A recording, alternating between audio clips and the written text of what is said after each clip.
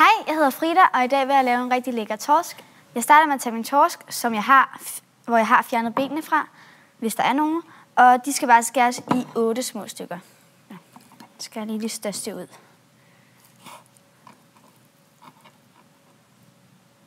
Så.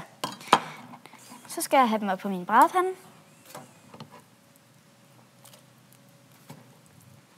Øhm, så skal jeg have olie på.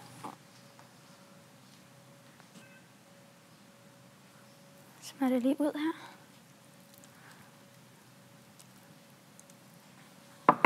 Og jeg skal også lige have lidt salt på.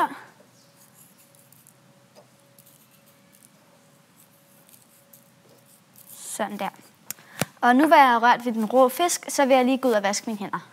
Nu vil jeg så lave min knas. Jeg har noget bredbladet persille, timian, et halvt fed hvidløg, en skive rugbrød, noget rasp, mandler og noget salt. Det skal så op i en blender, og så skal det blendes. Jeg har fået alle mine ingredienser op i øh, blender her, og nu tilføjer jeg så olivenolie. Sådan der. Og så tænder jeg.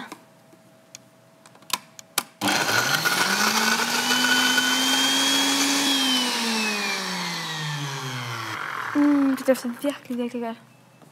Så. Nu er det blevet blandet sammen, så nu skal det over på torsken. Jeg skal lige sørge for, at der er nok til alle stykker.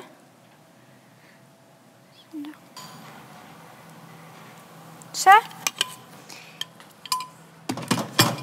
Og øhm, jeg har på forhånd tændt min ovn på 175 grader, og så skal din torsk bare have 10-15 minutter.